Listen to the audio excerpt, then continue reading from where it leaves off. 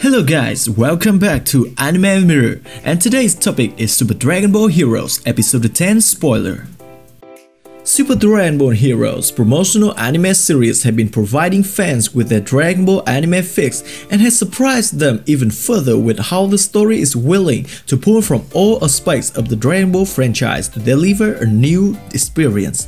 It's been making a wait for each new episode of the series tougher, but thankfully the next new episode is not too far away. The promotional anime series reveal, as spotted by at XV on Twitter that episode 10 will officially premiere April 18 in Japan.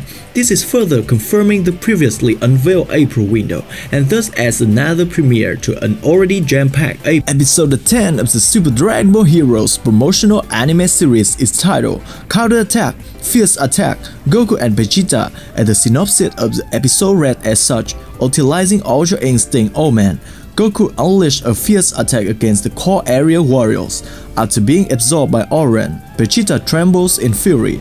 Will they be able to stage a counterattack against these limitless foes?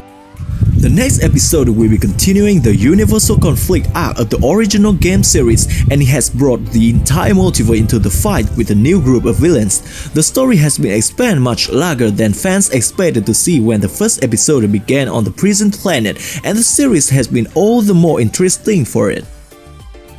The promotional anime series has seen the debut of new Goku looks, new villains, and fans had been enjoying the series far more than they originally expected to.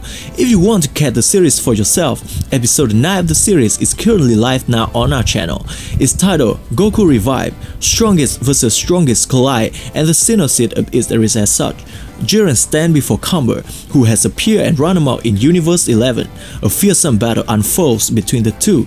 Just then, Goku, whose whereabouts had been unknown, appears alongside the Great Priest.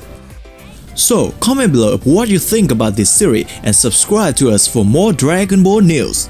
Cheers!